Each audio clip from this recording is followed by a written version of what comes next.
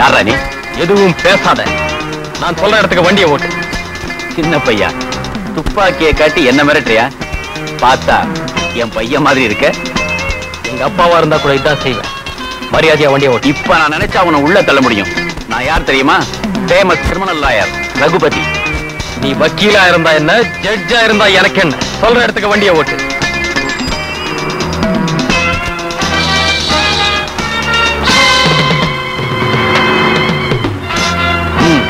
வண்டியை நிறுத்து. நிறுத்து.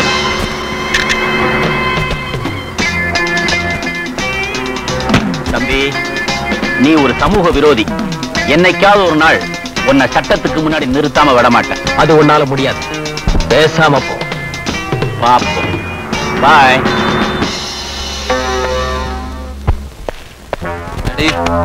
நீங்க கேட்ட டுவெண்ட்டி ஃபைவ் தௌசண்ட் ருபீஸ் பத்து நிமிஷத்துல முடிக்க வேண்டிய காரியத்துக்கு ஒரு மணி நேரமா? அப்பா இதுக்கு பத்து நிமிஷம் எல்லாம் தேவையில்லை. ஒரே நிமிஷத்துல காரியத்தை முடிச்சிட்டேன். ஆனா தப்பிச்சு வரது கொஞ்சம் லேட் ஆயிடுச்சு. என்னாச்சு? ஒண்ணும் இல்ல. ஒரு வக்கீல் வண்டியில தப்பிச்சு வந்தேன். அதான் இவ்வளவு லேட் வக்கீலா? யாரது? யாரோ ரகுபதியா? என்ன? ரகுபதியா? ஆமாப்பா. பெரிய கிரிமினல் ஆயிரம் பேரை கேட்டாலே குற்றவாளிகள் எல்லாம் நடுங்குறாங்களா ஆனா என்கிட்ட ஒண்ணும் பலிக்கல. வேற ஏதாவது சொன்னானா? நம்ம மாதிரி கூட்டத்தை தீத்து கட்டுவேன்னு சொன்னான். அவன் நம்மள தீத்து கட்டுறதுக்கு முன்னாடி. நாமளே அவனை தீத்து கட்டிட்டா? சபாஸ்ரா மகளே சபாஸ். நான் என்ன பேசணும்னு நினைச்சனோ அதையே நீ பேசியிருக்க. இப்படி பேசணும்னு தான் நான் வளர்த்தேன். வெரி குட் ராஜா நீ போய் ரெஸ்ட் எடுத்துக்க. வக்கீல் மகனை நல்லா தான் வளர்த்திருக்கேன் ஜானி சங்கரை கூட்டு பாபா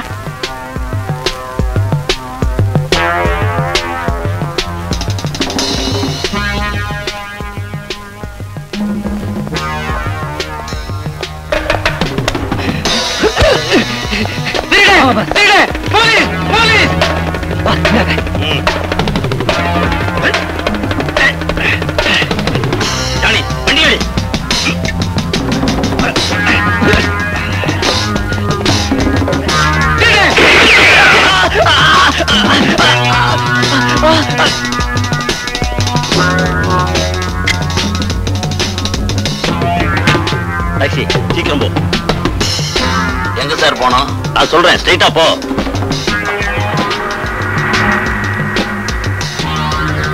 ஆ ரைட்ல போ. ம், சீக்கிரம்.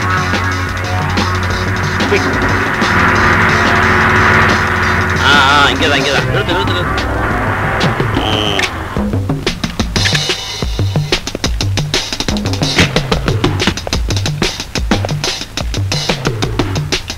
எட்டு ரூபா சார்.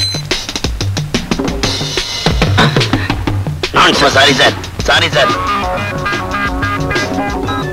அவன் வலது கையில ஒரு பெரிய தீக்காயம் இருக்கும்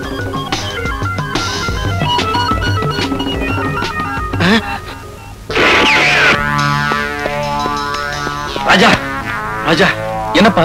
என்னாச்சு? உங்க கூட வந்த ஜானி எங்க? ஜானியை சுட்டுட்டாங்க. சுட்டுட்டாங்களா? ஆமா. நம்ம ஜென்ம விரோதி வக்கீல் ரகுபதி போலீஸ்ல காட்டி கொடுத்துட்டான். அவனே. பாஸ் நம்ம ஜானிய. ஜானிய? ஓகே ஹாஸ்பிட்டல் அட்மிட் பண்ணிருக்காங்க அங்க அவன் சுயநலம் இல்லாம படுத்திருக்கான் பாஸ். சாபாஷ் அவனுக்கு சுயநிலை வந்து நம்மளை காட்டி கொடுக்கறதுக்கு முன்னால அவனை கடத்திக்கிட்டு வந்துடணும். கடத்திக்கிட்டு வரதுல கை தேர்ந்தவனாச்சே உங்க பையன். அவசரப்படாத.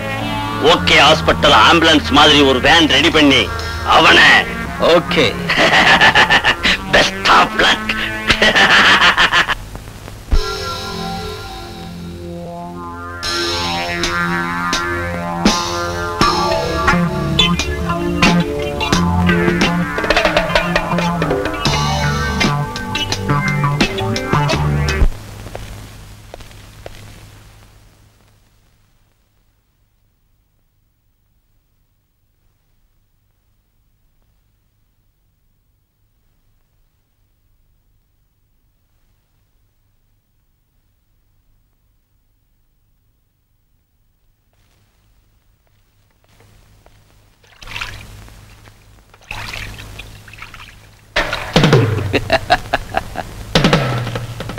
ஒழுங்கா மரியாதையா என் கூட்டத்தை சேர்ந்த இவனை நீயே வெளியே அனுப்ப ஏற்பாடு பண்ணு. ம். ம். நர்ஸ்!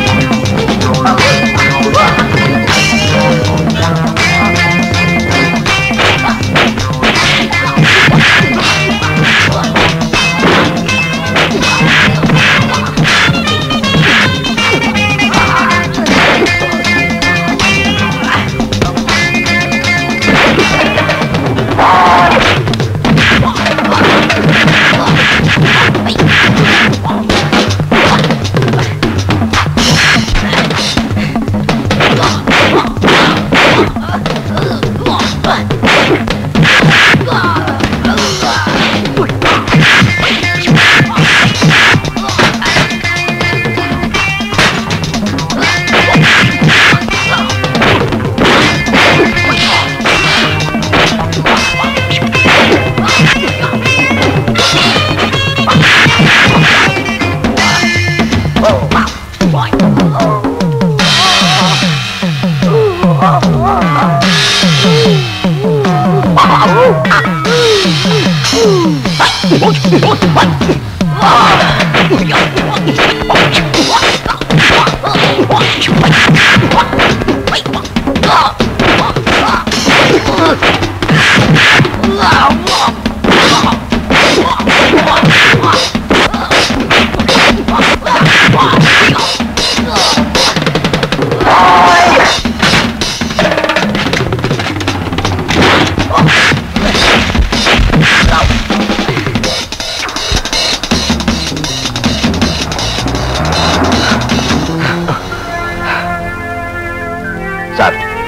நல்ல நேரத்துல வந்து காப்பாத்துனீங்க சார்.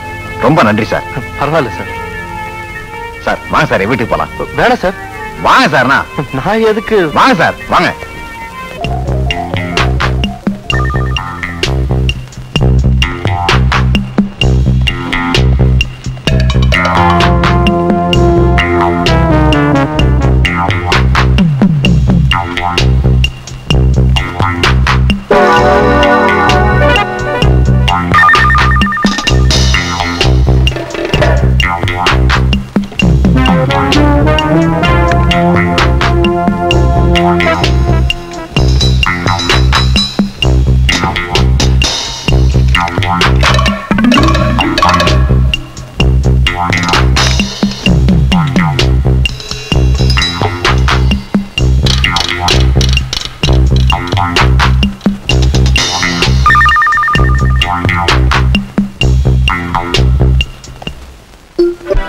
இருந்து பழத்தை பறிக்கிறதுக்குள்ள நம்ம வேறையே அறுத்துடலாம். கரெக்டா சொன்ன ராஜா. இப்பதான் என் மூளைக்கு வேலைக்கு நேரம் வந்திருக்கு. சங்கர்? என்ன பாஸ் நாளைக்கு வரசித்தி விநாயகர் கோயிலுக்கு. வக்கீல் அவசியம் வருவான். அவன் தான் அந்த கோயிலுக்கு தர்மகர்த்தா. அவன் வந்த உடனே அப்பான்னு கட்டி பிடிச்சுக்க. மத்தத நான் பாத்துக்கிறேன். கும்பிடுறா இப்படி கும்பிடணுமா செல்லாம் அடிச்சா போதாது? எடுத்துங்க. ஆ. அடா நெத்தியில இட்டுக்கடா ஐயோ இது நம்ம நெத்திக்கு மேட்ச் ஆகாது. அங்க போய் சப்ளை பண்ணுங்க. பிள்ளையாரப்பா இத்தனை வருஷமா பிரிஞ்சிருந்த என்னுடைய மகளை என்கிட்ட கொண்டு வந்து சேர்த்துட்டேன். அதே மாதிரி என் மகன் எனக்கு கிடைச்சிட்டா வாழ்க்கையில எனக்கு எந்த குறையும் கிடையாது.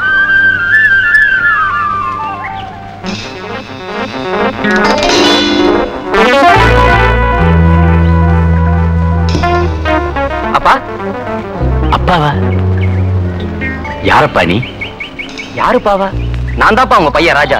சின்ன வயசுல காளி என்னதாப்பா தூக்கிட்டு போனா? அவங்கிட்ட இருந்து நான் தப்பிச்சிட்டு வந்துட்டேன்பா என் மகன் ராஜா ஆமா உன் கட்ட விரல் இத பாருங்கப்பா. ராஜா சந்தேகமே இல்ல. ராஜா டேய் இதான் உன் கூட பிறந்தவர் நீனாடா நீனா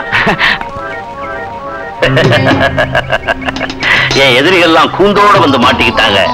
மகனே இவங்களை கைலாசத்துக்கு அனுப்பிடுறேன் ரெடியா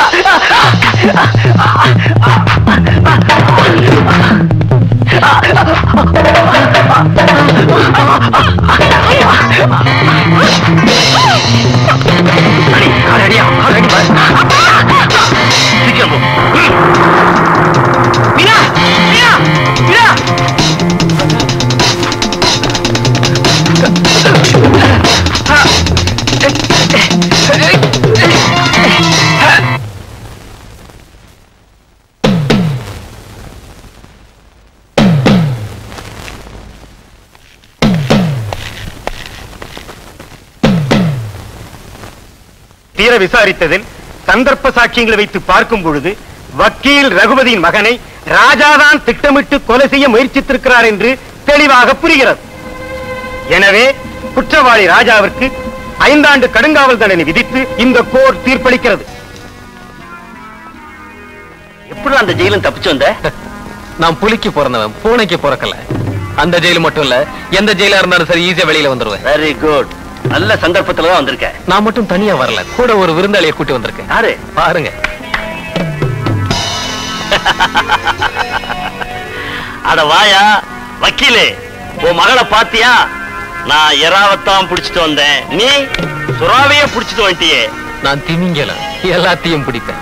நீ என் கையால தான் சாகணும்னு நினைச்சேன். ஆனா விதி இவன் கையால சாகணும்னு இருக்கு. மகனே கொள்ளிய நீதாண்டா வைக்கணும். யாரு யாரு கொள்ளி வைக்கணும்? யார் யாரு சமாதிக்க போகணும்னு? எனக்கு தானே தெரியும். இவங்க சமாதி எனக்கு சாந்தி. மகனே உன் கையாலேயே இவங்க ரெண்டு பேரையும் சுட்டு தள்ளு.